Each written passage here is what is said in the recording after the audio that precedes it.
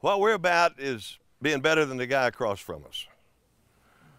And it doesn't matter how good we get, we got to get better than that guy. And if we can't, we got to get the guy next to us to help us so that we can overcome it. And that's how you win. We're about two or three years behind schedule, quite frankly.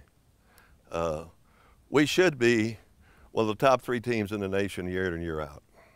We have set the platform to do that. And we got a little off track. So I'm looking for you guys to be the ones who put us back on track. You get us there. You go from wanting to win to expecting to win. We don't want to wait till next year. We've already done that now for a couple of years. That's enough. We are changing the world.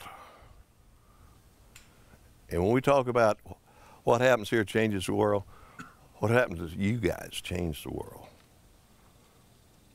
You are, you are big. You carry a lot of opportunity. You carry a lot of responsibility. We're looking for you to get it done. Not tomorrow, but today.